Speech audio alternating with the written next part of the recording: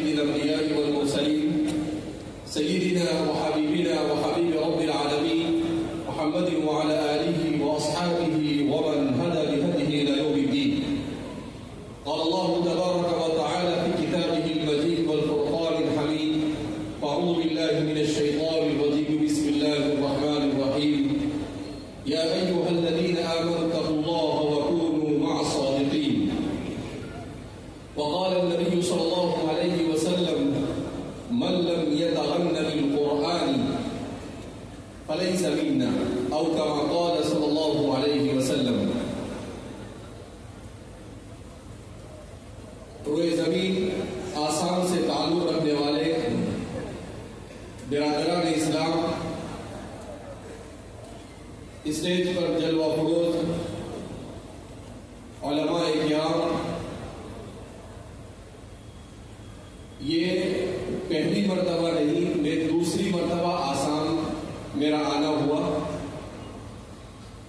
इससे कबल मौलाना परवेज साहब, खासतौर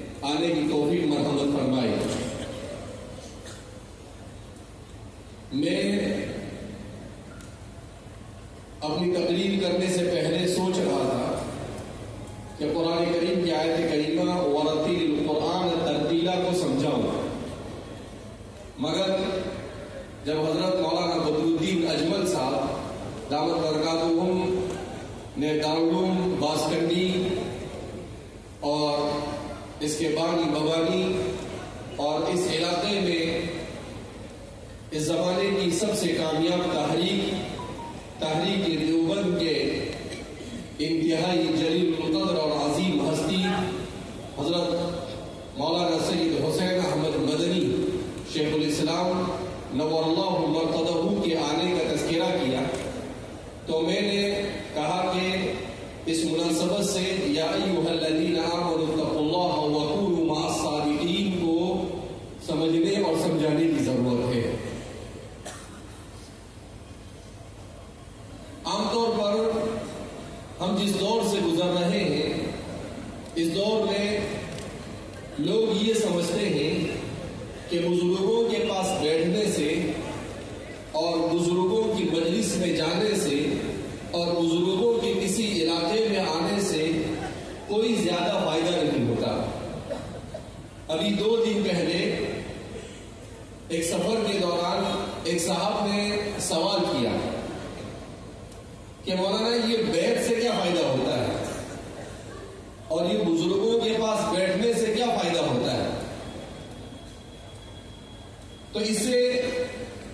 वो फवाइद हासिल हो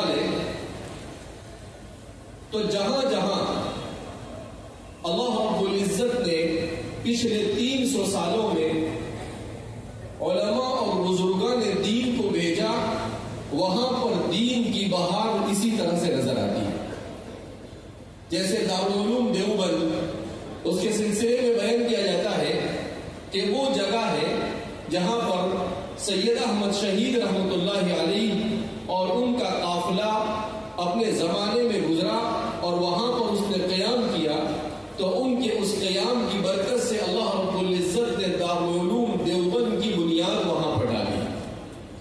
जिस तहरीक ने इस पूरी दुनिया में, ऐसे ज़माने में जिस जमाने में अरबों ने भी इस्लाम की ऐसी कदर नहीं की जैसी करनी चाहिए, जहाँ से इस्लाम का नूर पूरी कायनात, पूरी दुनिया में फैला, उस जगह पर भी इस्लाम से लोग दूर होने लगे ऐसे दौर में अल्लाह रब्बुल इज़्ज़त ने इस सरजमीन हिंदुस्तान को अपने दीन मतीन की खिदमत के लिए कबूल किया ये इस्लाम के किसी मुआजे से कम नहीं है इसलिए कि कहा हिंदुस्तान और कहा अरबस्तान दोनों के दरमियान अजीम समंदर हाइल है मगर अल्लाह के रसूल सल्लल्लाहु अलैहि वसल्लम ने अपने ज़माने ही में इसकी बशारत दी थी कि मुझे सरजमीन हिंदुस्तान से खुशबू महसूस हो रही है जिसको अल्लाह इकबाल ने भी अपने बहुत सारे अशार में ज़िक्र किया है हज़रत शेख इस्लाम अल्लामा सैयद हुसैन अहमद मदनी नवल्लाहु के सिलसिले में बारहा ये बात सुनी है कि हज़रत रहमतुल्लाह जिस जिस बस्ती से गुजर जाते थे, अल्लाह रब्बुल इज़्ज़त उस बस्ती में दीन को आबाद कर देते हमारे गुजरात के इलाके में भी मुतद बार हज़रत का आना हुआ मैं चंद सालों पहले बलूच ज़िले में गया तो वहाँ पर मुझे बताया गया कि जिन जिन गाँव में हज़रत का क्याम हुआ उन गाँव से बिदात और खुराफात बिल्कुल खत्म हो गई फरमाते हैं कि एक गाँव रास्ते में ऐसा आया जो बिदात का घर था तो हज़रत ने लोगों से कहा था कि जब यहाँ पर पहुँचे हज़रत बैलगाड़ी में सफ़र करते थे उस जमाने में गाड़ियाँ नहीं थी तो कहा कि जब वहाँ पर पहुँचे तो मुझे उठा देना मगर हज़रत सोए हुए थे लोगों ने हज़रत को उठाने को मुनासिब नहीं समझा और वहाँ से गुजर गए। हज़रत का क्याम नहीं हुआ तो आज पचास साल के बाद भी वहाँ से बिदात का खात्मा नहीं हो सका। तो इसलिए हमारे तलबा और हम लोगों को इस बात को समझने की ज़रूरत है कि इंसान की ज़िंदगी में अगर सबसे ज़्यादा मुअसर कोई चीज़ हो सकती है तो वो है सालहीन की सोहबत, नेक लोगों की सोहबत। नेक लोगों की सोहबत की इस इस्लाम के निज़ाम को आज का मुसलमान आहिस्ता आहिस्ता फरामोश कर रहा है।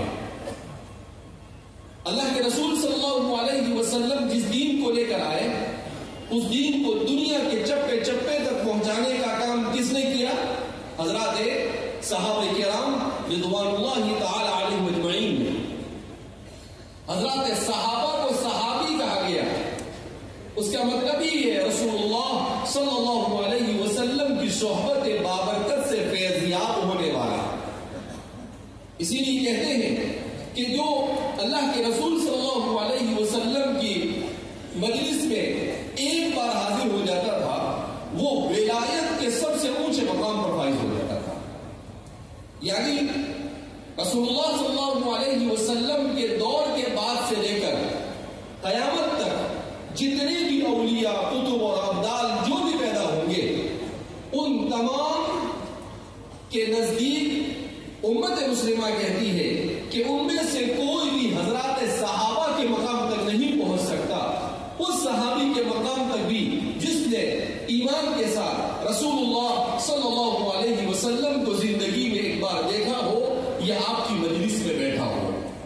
ये इसी को कहा जाता है कि दीन पैदा होता है बुज़ुर्गों की नज़र से लिहाजा फितरों के इस दौर में कुरान करीम की इस आयत करीमा को सबसे ज़्यादा अमली जामा पहनाने की ज़रूरत है कि हम सालहीन की सोहबत इख्तियार करें। हज़रत मौलाना अहमद अली साहब बासकंडी नवाहू के सिलसिले में वैसे बचपन से हम सुना करते थे, इसलिए कि हज़रत मौलाना बदरुद्दीन साहब का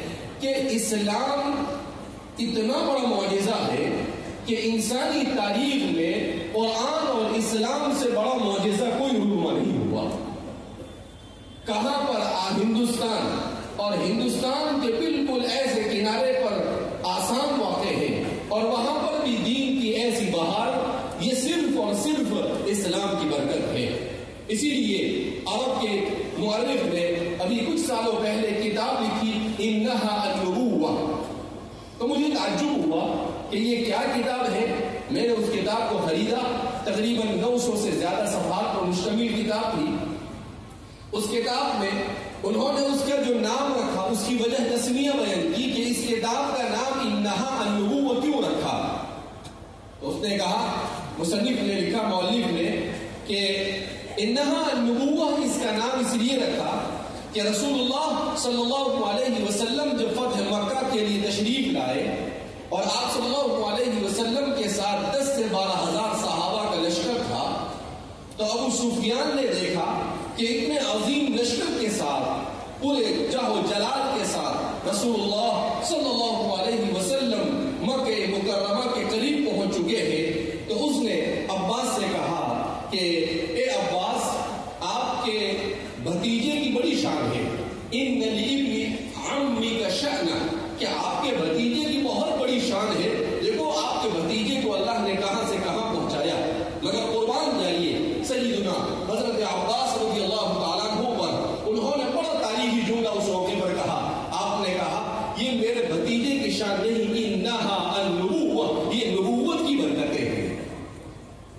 कि अल्लाह रब्बुल्जत ने मेरे भतीजे को नबूवत से सरफराज किया। क्यों? कि हज़रत अब्बास समझ रहे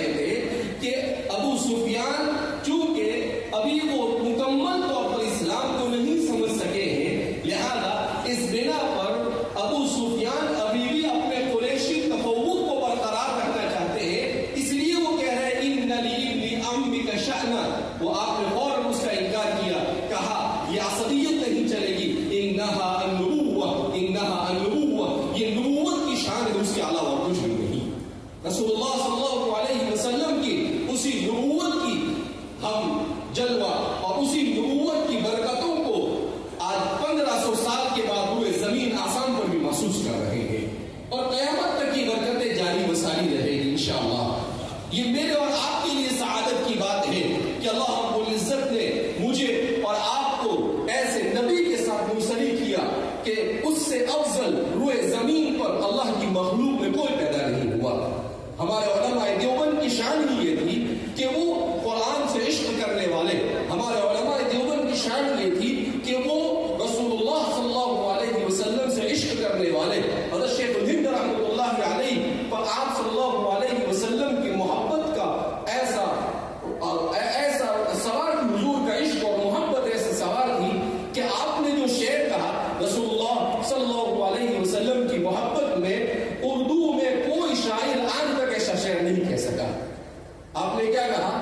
जन्नत को मुखातब करते हैं।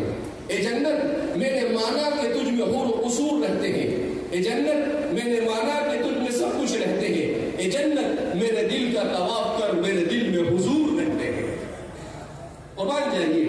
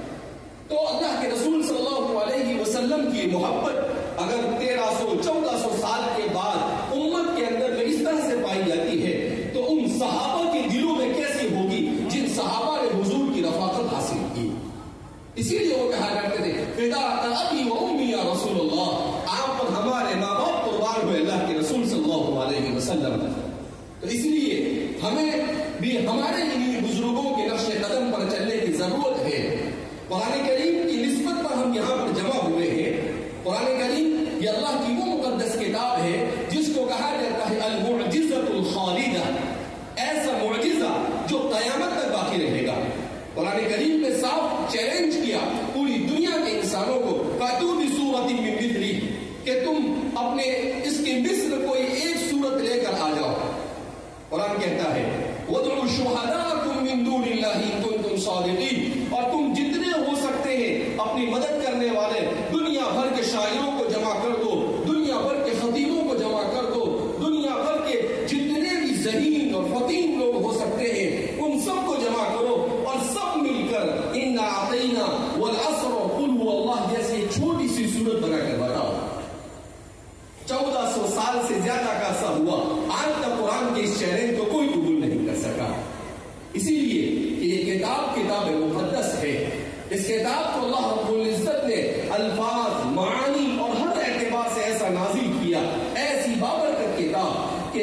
उसका पढ़ना, उसका समझना, उस पर अमल करना और उसके पैगाम को इंसानियत तक पहुंचाना, ये इंसान के लिए दुनिया और आखिरत में कामयाबी का अहम तरीन रास्ता है।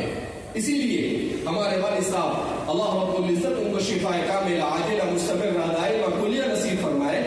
आपने आज से तकरीबन 29 साल 30 साल पहले हिंदुस्तान में जब आप एक मुसाबके से वापस लौटे मक्के मुकरमा में आपने मुसाबके में शिरकत की, वापस ने कहा कि उम्मत को कुरान के साथ जोड़ने की ज़रूरत है।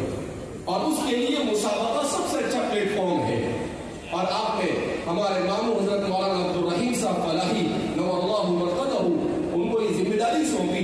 उन्होंने सत्ताईस साल तक मुल्क के चप्पे चप्पे में घूमकर कुरान करीम की तस्वीर और उसकी तफसीर के लिए बड़ी मेहनतें की। अल्लाह उनको उसका बेहतरीन अभी हमारे इस सफ़र के दौरान ये हमारा साथ मुसाबका है। तकरीबन बारह रियासतों के साथ मुसाबके हुए और अभी दूसरे तकरीबन छह मुसाबके बाकी हैं। तो आधे मुसाबके हुए और आधे बाकी हैं।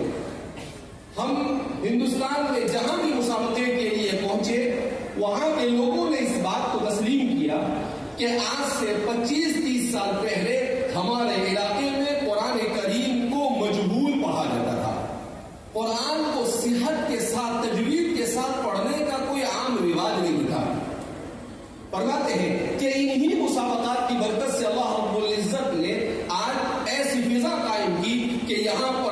बच्चे कुरान करीम की तिलावत करते हैं और गोया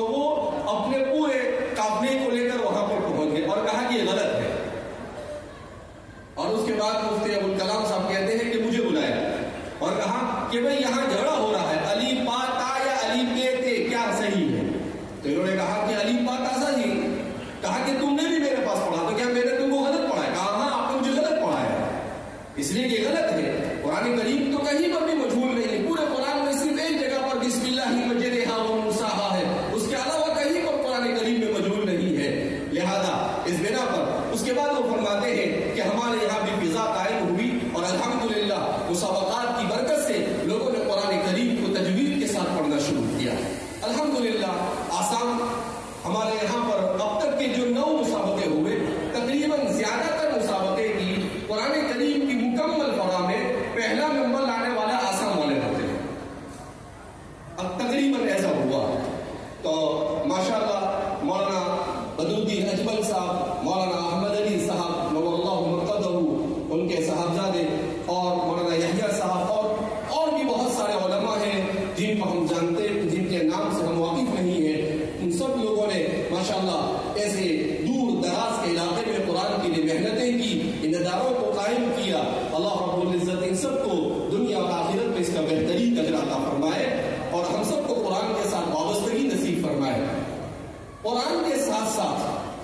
e sua desquise que só precisa de adesão.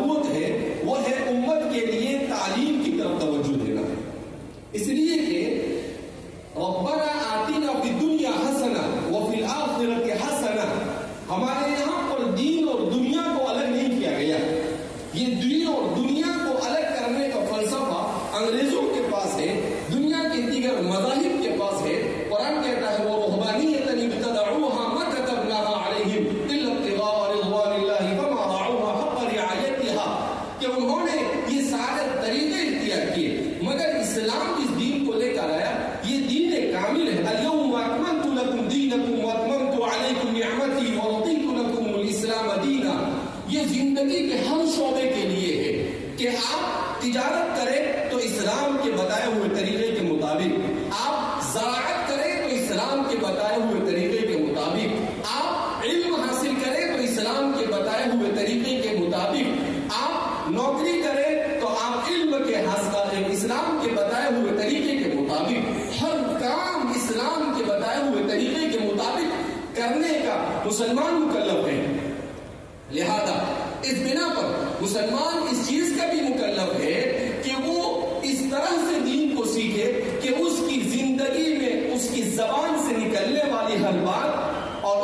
वतन से सादिर होने वाला हल अमल ये इस्लाम के मुताबिक हो।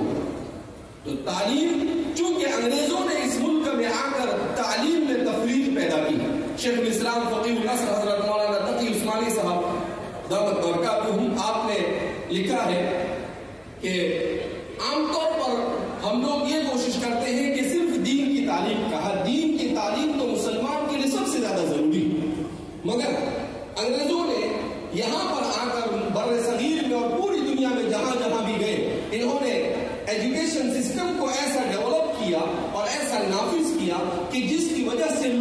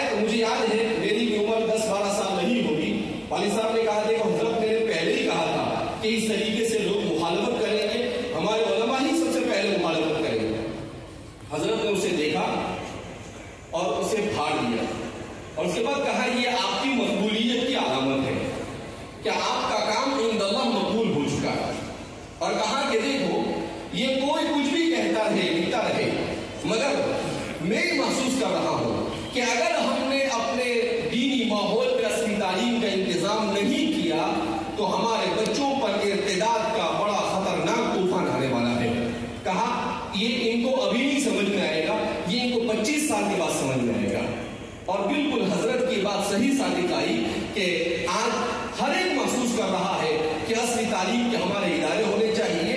लिहाजा हमें इस तरफ़ भी तवज्जो देने की ज़रूरत है।